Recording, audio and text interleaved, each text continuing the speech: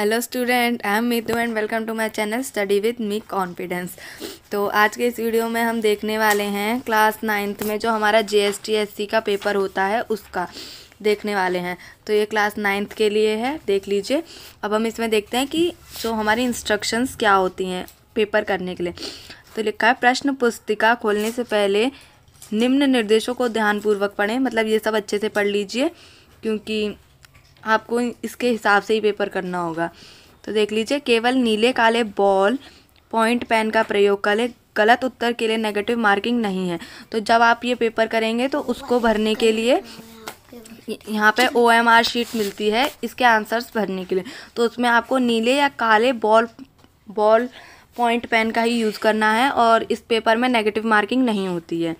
उसके बाद देखते हैं क्वेश्चन हमारा दूसरा निर्देश क्या है? तो दूसरा निर्देश है कि हमारे इसमें दो भाग होंगे, भाग एक और भाग दो। तो भाग एक हमारा होगा सामान्य ज्ञान जीके के लिए और जो हमारा भाग दो है वो होगा विषय दक्षता के लिए। मतलब हमारे उसमें सब्जेक्ट से रिलेटेड क्वेश्चन आएँगे। तो जो हमारा जी के है उसमें से वन से फिफ्टी तक क्वेश्चंस आएँगे और जो हमारे सब्जेक्ट से रिलेटेड हैं वो फिफ्टी वन से टू हंड्रेड क्वेश्चन आएँगे। ठीक है? ये क्वेश्चंस नंबर दे रखे हैं तो गलत मत समझिएगा। अब देखते हैं हमारा तीसरा निर्देश क्या है। तो तीसरा निर्देश है, इस प्रश्न पुस्तिका में दो दो प्रश्न दिए गए हैं, सभी प्रश्नों के उत्तर देना अनिवार्य है। मतलब आपको पेपर में 200 क्वेश्चन दिए जाएँगे और उन्हीं, उन सभी टू हंड्रेड क्वेश्चन को आपको करना होगा। उसके बाद है, चार विकल्पों में से केवल एक ही सही विकल्प को नीले, काले, बॉल, पॉइंट, पेन की मदद से छायांकित करें। तो आपको हर क्वेश्चन के लिए चार ऑप्शन दिए जाएँगे और उन चार में से आपको एक ऑप्शन भरना होगा। वो भी या तो नीले या फिर काले बॉल पेन से भरना होगा, ठीक है?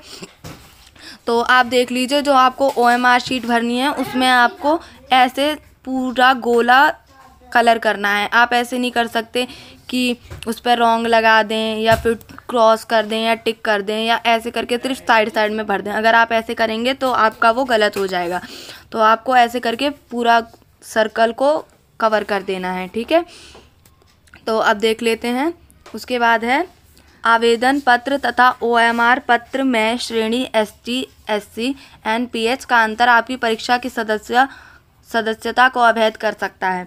तो जो आपने वो भरा होगा, इसके लिए फॉर्म भरा होगा तो उसमें अगर आपने एस सी वगैरह भरा है, या फिर आप ओ एम आर शीट में लिखते हैं एस सी वगैरह तो उससे आपका पेपर कैंसिल हो सकता है तो वो सब चीज़ें ना लिखें। उसके बाद लिखा है, परीक्षार्थी एक बार लगाए गए त्रुटिपूर्ण उत्तर को किसी भी प्रकार रगड़, ब्लेड, मिटाने वाली वस्तु, श्वेत रंजक, खोरचना इत्यादि से परिवर्तित नहीं कर सकता।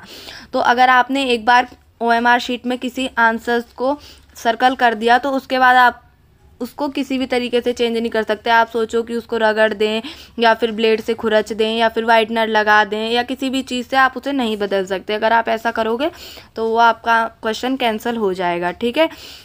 उसके बाद लिखा है, कच्चे कार्य के लिए प्रश्न पुस्तिका में अतिरिक्त प्रश्न जुड़ा है। मतलब आप जो रफ वर्क करना चाहते हैं, उसके लिए आपको एक्स्ट्रा पेज मिलेगा जिस पे आप कर सकते हैं रफ वर्क उसके बाद लिखा है, कृपया ओएमआर पत्र परीक्षा संपन्न होने पर कक्ष निरीक्षक को देने के पश्चात ही जाएँ। सभी प्रश्न पुस्तिकाओं को अपने साथ ले जाएँ। तो इसमें हमें बोला गया है कि जो हमारा ओएमआर शीट होगी, वो हमें जो भी हमारा इंचार्ज होगा उस टाइम पे क्लास में उसको दे के जाना होगा। उस, और जो हमारा क्वेश्चन पेपर है वो हम अपने साथ लेके जा सकते हैं। और हमें अपने साथ ही लेके जाना होता है। उसके बाद लिखा है निर्धारित निर्धारित प्रश्न पत्र को उसकी निर्धारित समय सीमा में ही ओ एम आर पत्र पर छायांकित करें। तो आपको इस पेपर को करने के लिए चार घंटे मिलते हैं और उस चार घंटे में ही आपको सारे क्वेश्चंस के आंसर देने होते हैं और ओएमआर शीट को भी भरना होता है। आपको ओएमआर शीट के लिए कोई अलग से टाइम नहीं दिया जाएगा। तो सारे क्वेश्चन ध्यान से करिएगा और देख लीजिएगा कि आपका टाइम सही सही सही समय पे हो जाए। सारे क्वेश्चंस और ओएमआर शीट भी साथ के साथ भरते जाइए। उसके बाद लिखा है, इलेक्ट्रॉनिक संयंत्रों, संगणनक, मोबाइल इत्यादि का प्रयोग पूर्णतः निषेध, निषेधित है। मतलब आप पेपर देते वक्त किसी भी इलेक्ट्रॉनिक गैजेट या फिर कंप्यूटर या मोबाइल किसी का भी यूज़ नहीं कर सकते, ये सब कुछ बिल्कुल मना है। तो ये हमने देख लिया कि जो हमारा क्लास का नाइन, क्लास नाइन्थ का J S T S E का पेपर होता है, उसको करने के लिए क्या निर्देश होते हैं। तो चलिए